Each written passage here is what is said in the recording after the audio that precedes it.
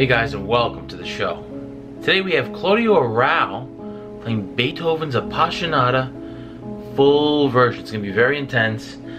I'm actually going to break down the video a little differently this time. Stay tuned to see what I'm going to do. I'm going to be giving my thoughts in between certain segments of the piece so you have a better idea of how I feel about it instead of just kind of running through it since we've probably all heard Appassionata. If I'm saying that wrong, you can laugh at me now, but I'll get you in the comments. Let's get started.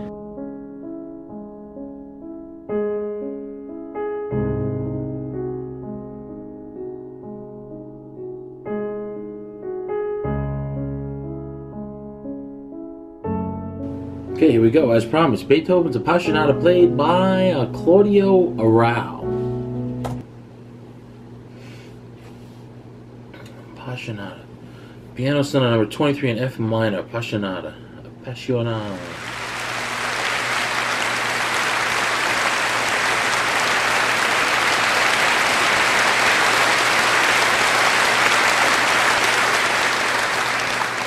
This is the great Arrau. Or Arola. How do you pronounce that, guys? Tell me in the comments. No, it's Claudio. Let's see.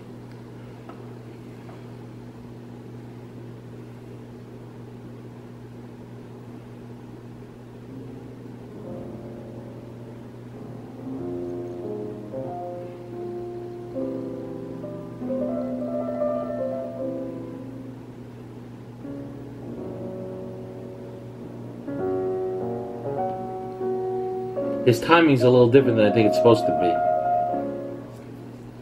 It's a little different. A little variation there, which is expected. It's expected.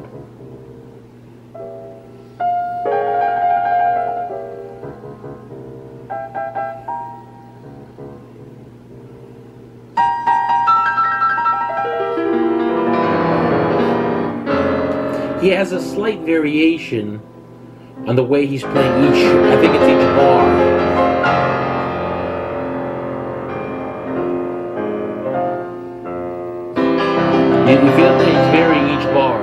He's splitting it into sections.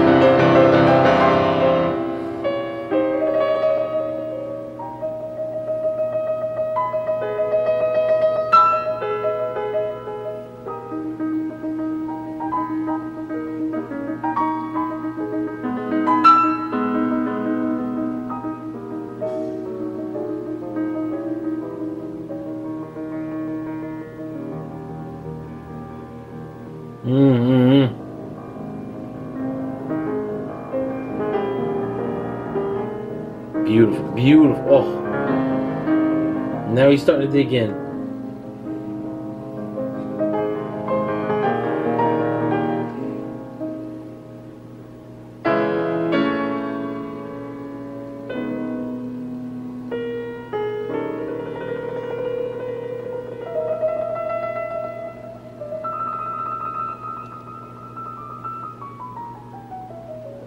It's really fun see the older videos like this one. The way they translated the music. The, respect they gave it back then was a little different than they give it today. It was a much more, I'd say, upper scale society thing back in the day when Arrau was at its, his prominent period.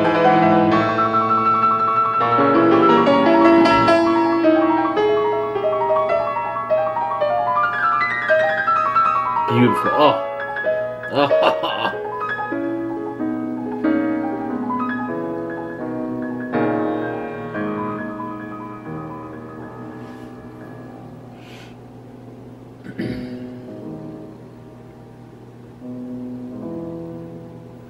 Mm, mm.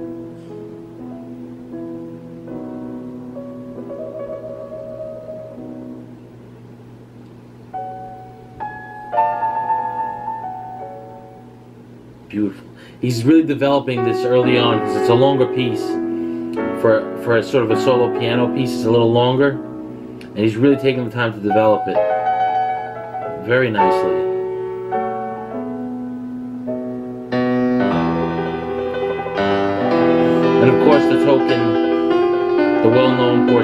And the beautiful, beautiful.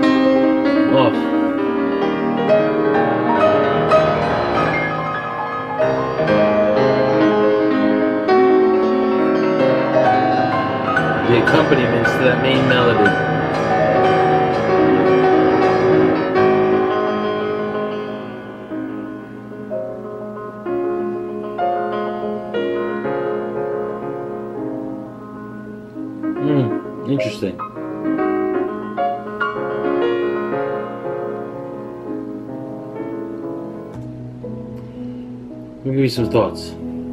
Arrau is doing slight variations in each set of bars, but the variations and the expression went much deeper than that in the translation of Beethoven's original work. Basically, he was changing it in each bar and then each set of bars as a, as a phrase. So it was like a phrase in a phrase. And also, he was making it one piece in itself, the first movement, as well as developing it for the entire work, which is it's pretty standard nowadays, I'd say, with the top performers, but he was doing it in a way that was very colorful. It, wasn't like Beethoven I've heard before. It was very colorful, it was very his own. I've heard Claudio play before in past recordings that I've done on the channel, and he's got his own sort of style. It's very creative, very nuanced style, you know? Let's get back to it.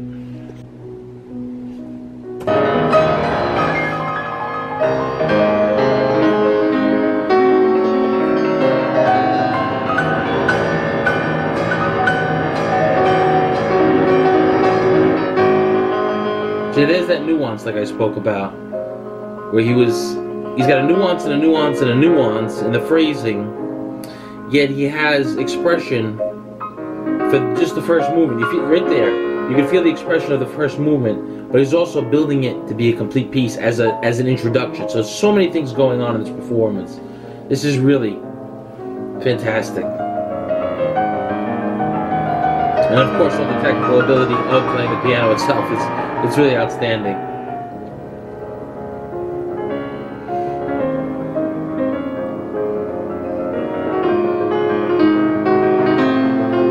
And I think that's what the genius of Beethoven really is. He allows the artists, the, the performers, the musicians, to really have liberty. It's, it's such a it's such an intricate way he, he composed the music, you know. And that's why it allowed people the freedom to make so many different variations on it and express it in different ways. That's why it still stands the test of time, guys. I mean, listen to that. There's so many different ways and different nuances that can make you feel differently. Oh.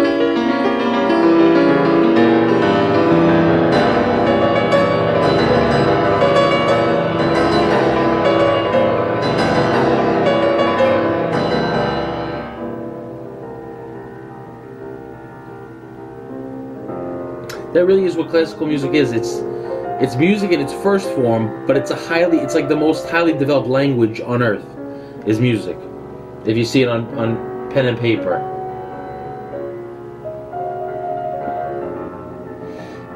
Because it's like it's like reading a book in your native language, yet it can be spoken a billion different ways if you want to.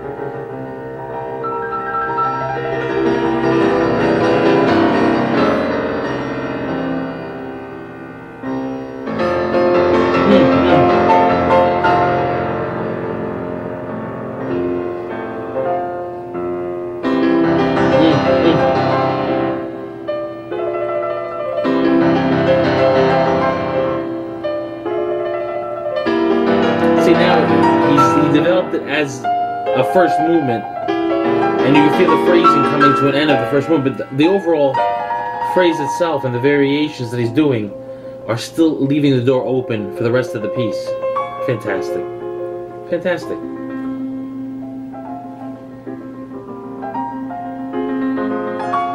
That's why I love this so much, this art form, classical music. It's just, it's endless, endless investigation and learning and enjoyment too. It's So enjoyable.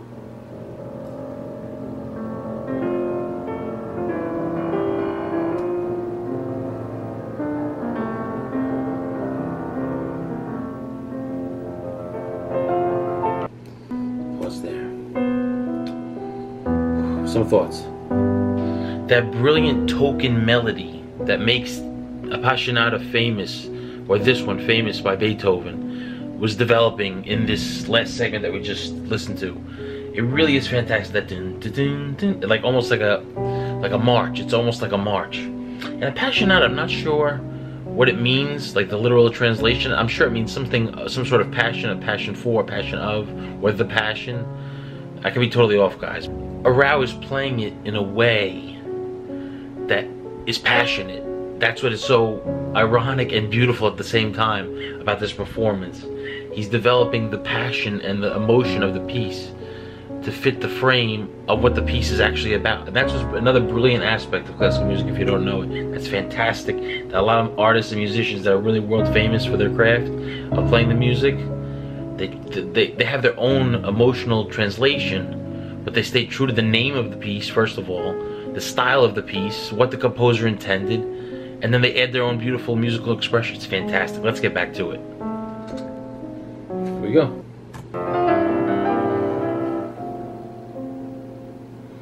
that beautiful, beautiful melody that is so pointed in this piece that really, it really is like a march.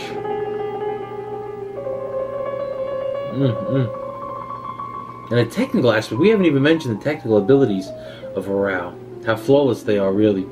And his technical aspect, his technical abilities are so intertwined with the emotional ability. Really something special. We feel that the technical aspect is so, is so developed and so honed that you almost can't tell they're technical aspects, that they're just so beautifully expressing the, the emotions of the piece. Right there. That's a that's a difficult technical move. And it's just it just sings emotion. Beautiful. Mmm. Mmm. And there's that melody.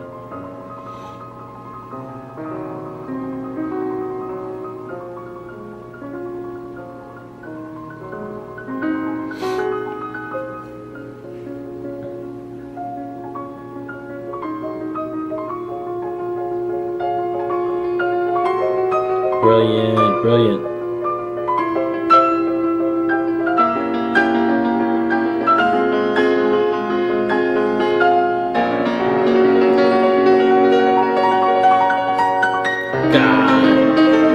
Now let's take a moment to just enjoy it. Oh.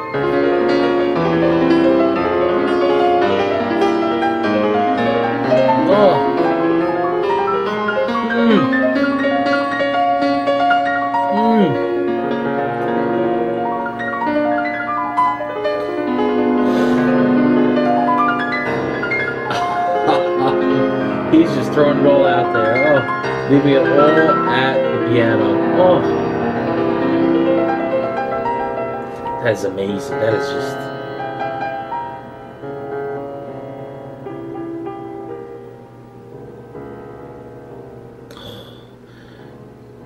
The overall tone is beautiful too.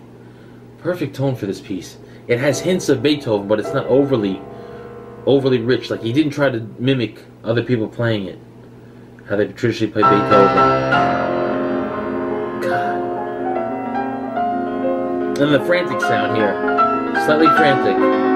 Oh. Right, because the pa passion, there's always this, the, the fear of after passion, of losing it. There's that frantic aspect of it. It's such a, it's just like with music. You feel wonderful. With those highs come the lows. That's what makes great music. You have to have the balance. And there's the balance right here with this piece. Oh.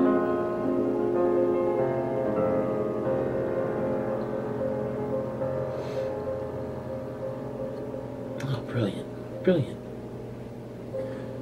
Hmm. Hmm.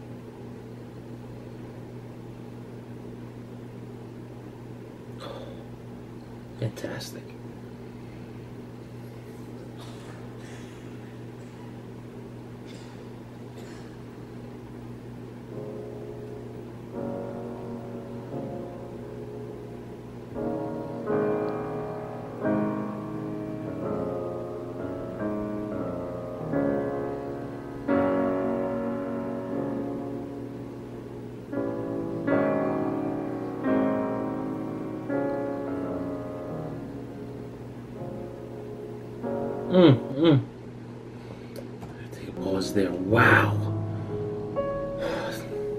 Guys, so many things I want to talk about. That first movement was absolutely exceptional. It was exceptional.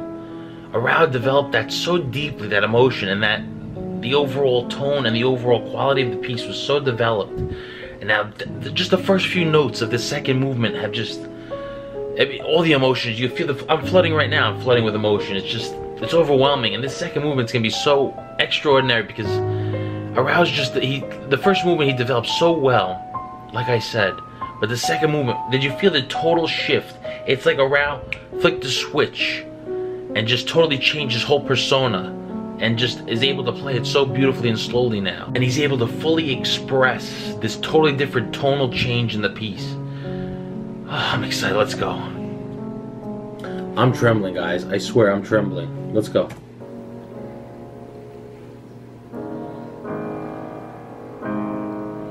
Mm. You feel it, it's so, it's so deep. The tone is so deep. The emotion is so deep. God.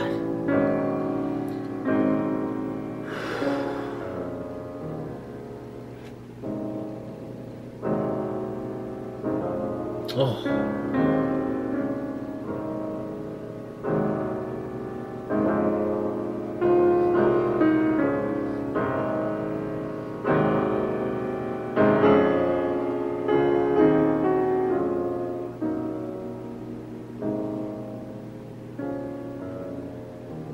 Again, it sounds it sounds as if it's a march. Now is Beethoven metaphorically speaking about appassionata like a march through life where life is about passion? It could be. Because the first one was like a, an upbeat, steady march. Like, you have to get people excited, you know, when you're youth. Now it's slow, starting to be solemn, starting to think a little more as you get older. So this could have been a march on life, Appassionata, because that's what life's about, you know? It's about passion. Passion in what you do, passion in what you enjoy, passion in your friends and family. Hmm.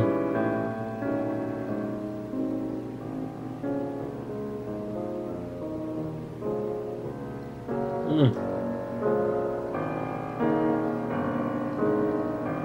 See, and the, and the variation, the expression, isn't as isn't as youthful. It isn't as exuberant. It's a much more steady, slow expression, more methodical. Hmm.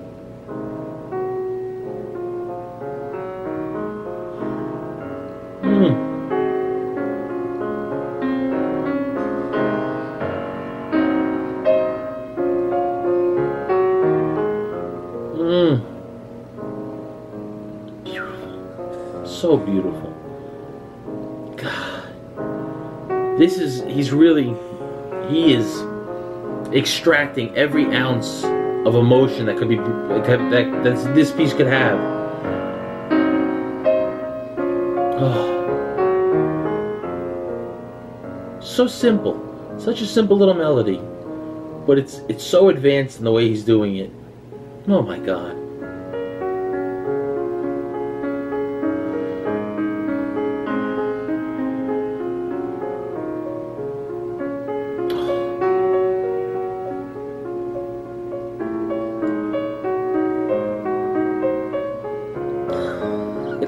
It's so rich in tone. Oh, my goodness.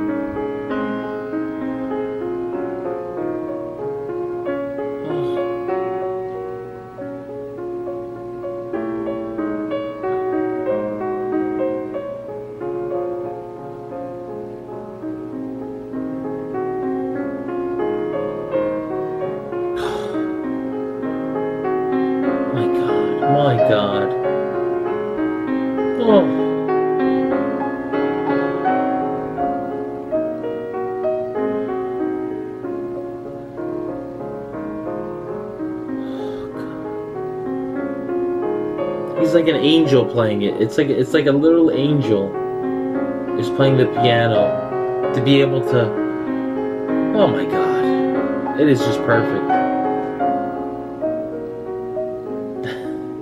It really is. Oh a little lively bounce here.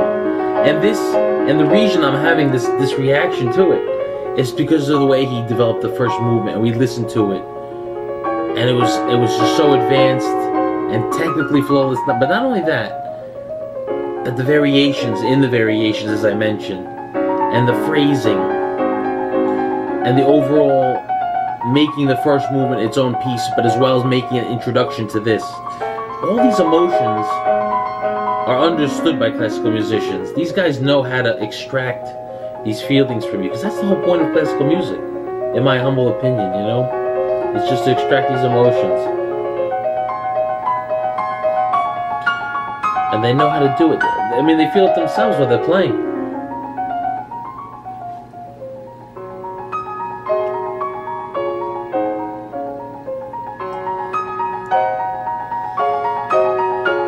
Hmm. Oh. Some thoughts. Now, if you guys are viewers of the channel, you know by now that I'm no expert on these things. I think I, I'm a self-proclaimed expert on emotion in the music because I feel so deeply, and I could just, I just, the way I'm a very wear my heart on my sleeve kind of guy, and I can feel so deeply with with just the, the, the slightest twists and turns in the music because I have such a passion for the music itself, and I, the way Rao developed that first movement so beautifully. And then the slight exchange of speed and tone that made all the difference in the world to the second movement and made it just overwhelming through the whole thing. Absolutely fantastic. Let's continue, guys. Okay. I'm really, I'm overwhelmed. I'm just so overwhelmed. This is so emotional. Oh. Oh. God. Oh.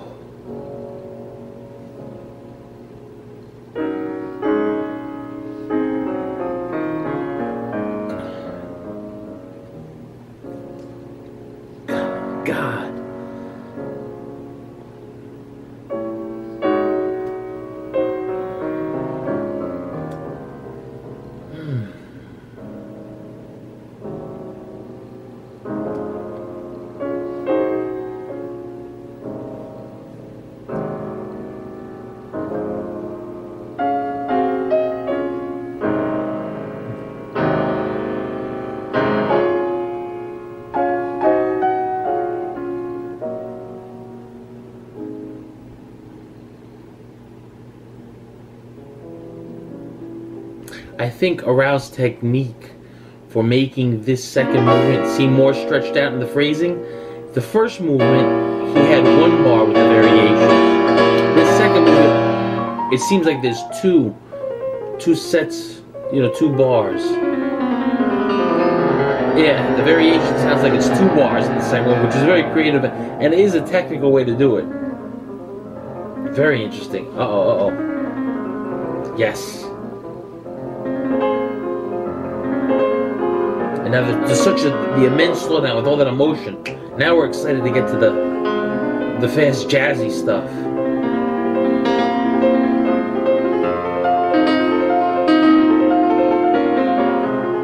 Mm.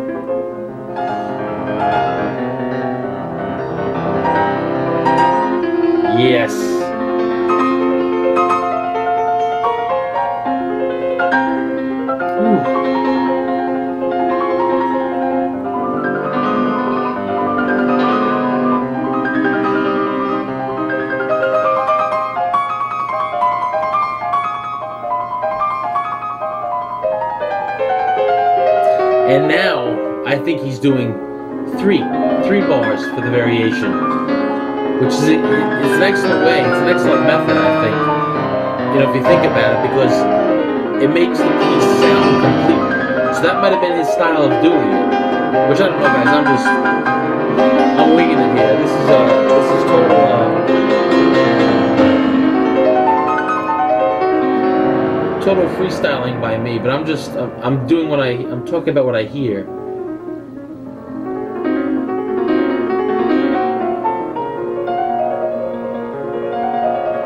See? There. There. You can hear it.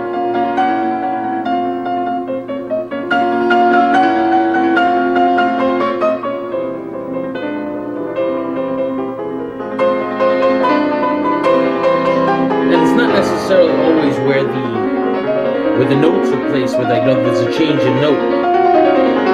Just a masterpiece by Eric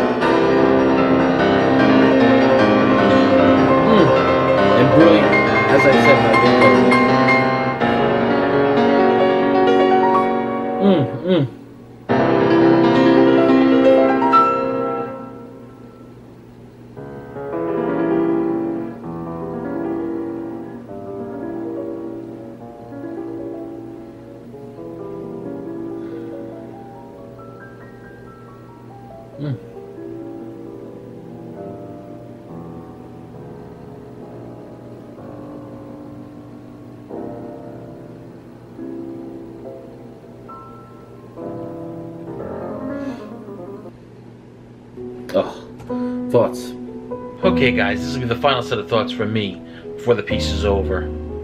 Just like I said, I think I think my what my ears are telling me is that Arrau did the first movement one bar, one bar of notes with the variation. Then the second movement, two bars.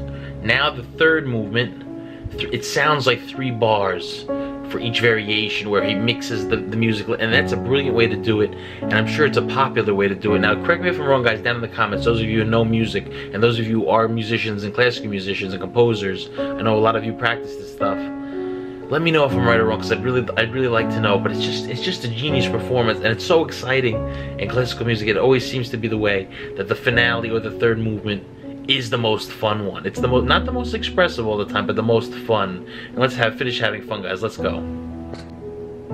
Okay, here we go.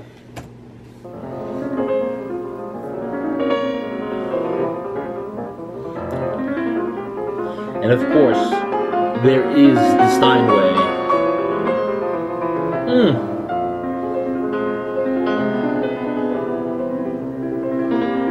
Beautiful, beautiful. The, Moonlight Sonata-esque rhythm to it, you know? And even the style, see how you play the left hand? That, that's, that's how you play the third movement of the Moonlight Sonata. The variation on this one that I just saw, I don't know which one was written first, Moonlight Sonata or this. The left hand stays still the Moonlight Sonata, and then the right hand goes like this. In this one, the left hand played the rhythm, eh, but the rhythm with the left hand move, while the right hand played a constant rhythm. That's interesting.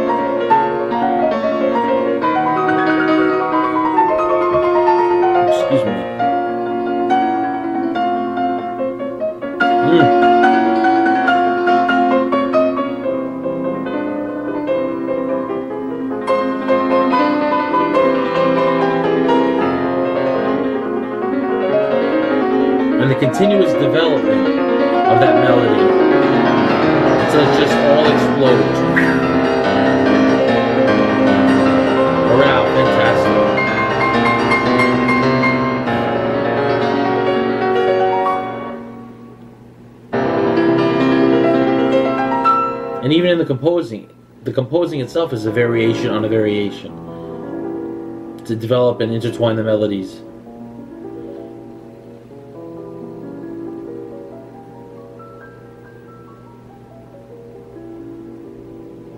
Mm, mm.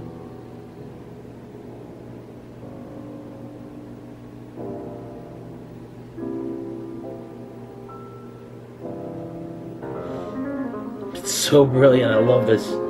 I've actually reacted to Cassia playing this third movement. It's fantastic. It's absolutely fantastic. So legendary.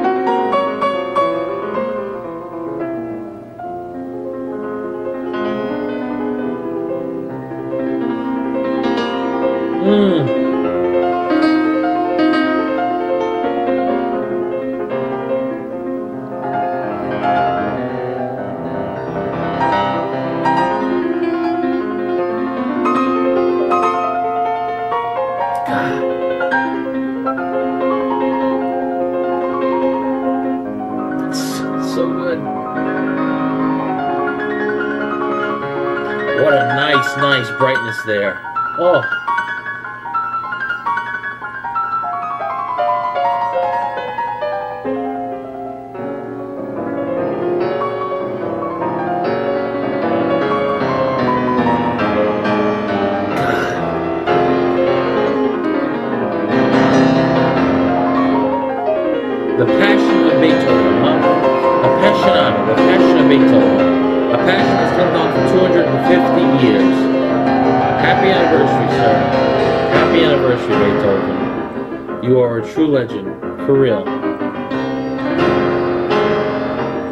250th anniversary. And Arrau just finishing so powerfully.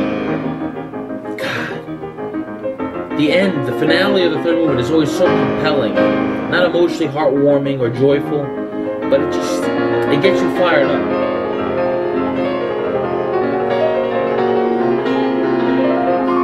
It's like, oh. It's the fourth quarter, you know? Always played that way. Fantastic.